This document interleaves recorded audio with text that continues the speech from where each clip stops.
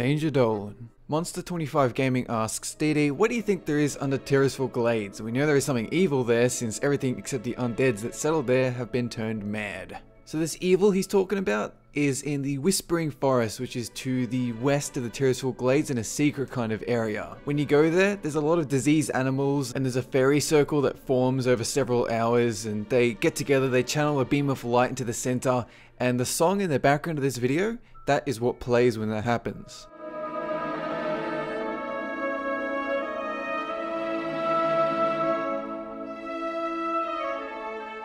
Now this has been a mystery since the start of Cataclysm and there's only been a couple of light explanations, one of them being that when the High Elf settlers first came to the Eastern Kingdoms, they supposedly set down in the Whispering Forest and some of the High Elf members started to go mad, so they decided to, you know, hightail out of there to quell the loss. There's also been an explanation where the Chamber of Krasis had a mysterious pool of energy at the bottom with all kinds of weird stuff happening. And it was rumored that this chamber was in the Whispering Forest but never really confirmed. But it does line up with what's happening at that place. So in one of their Ask Dev Q&As on the official Warcraft website, someone asked if there was an old god underneath the Tirisfal Glades and they just replied, nope, there's something incredibly unsettling there, but it's not an old god. It isn't recommended to go digging through the glades though. And then again in a separate Reddit Q&A one year ago, someone asks, during your recent CDev, you stated there wasn't an old god underneath Tirisfal. Is there any chance you could give us any kind of hint as to what is down there?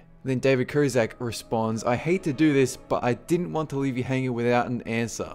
My answer is, we're not saying. Not yet. Now they have mentioned in an interview of which I could not find the source even though I can remember it because I saw it recently but I just I spent hours looking for it, I couldn't find it. But the point is, like the mysterious Gundrak snake tail, sometimes their designers put in mysterious or cool things as fertile soil for future expansions and then they scramble to explain it because they realized that they could use that in a storyline. So obviously they have some idea of what's below the Whispering Forest, and it's not an old god, but something still dangerous. So I feel like when the designers put it in at Cataclysm, they didn't really know what it was. They just wanted to have a bit of conversation about what it could be. And I think they have succeeded in that respect. By now they've probably set in stone exactly what it is, but at the time that they created it, they probably had no idea. So here's some of my speculation. Yogg-Saron's puzzle box mentions Ny'alotha as the land of sleep, and since those fairy dragons occupying the circle have strong ties to the Emerald Dream, along with the Emerald Nightmare, it may be the focal point for some domain of evil, although since the devs confirmed that it isn't the old gods and we know N'Zoth is the force behind the Emerald Nightmare,